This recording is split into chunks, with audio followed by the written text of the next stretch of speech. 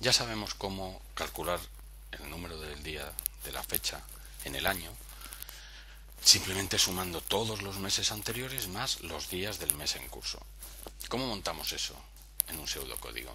Bueno, empezamos por lo más obvio, pedir el día y pedir el mes. Hemos dicho que vamos a ignorar los bisiestos.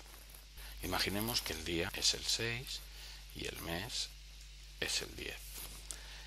Tendríamos que sumar los meses 1, 2, 3, 4, 5, 6, 7, 8 y 9 y luego el 6.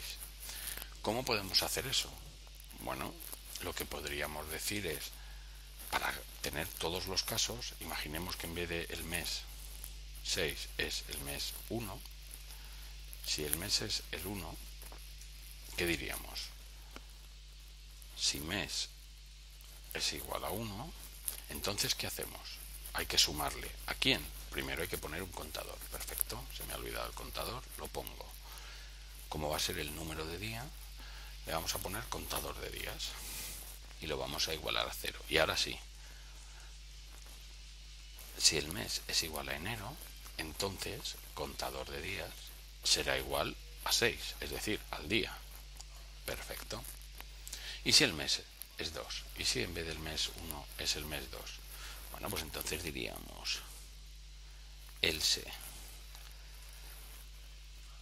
Si mes es igual a 2, el contador de días a qué será igual? Será igual a los días de enero, 31, más el día. Y así sucesivamente hasta el mes 11. En el mes 11 lo que haríamos es decir, si el mes es igual a 11, noviembre, vamos a suponerlo aquí, diríamos que el contador de días sería igual a enero, más febrero, más marzo, más abril, más mayo, más junio, más julio, más agosto, más septiembre y más octubre. Y luego el día. Y el único caso distinto es el mes 12, que ya no hay que preguntar.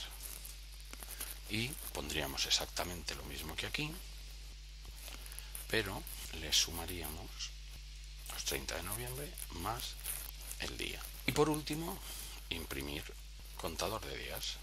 Es decir, con lo que sabemos, con solo selecciones, podemos hacerlo.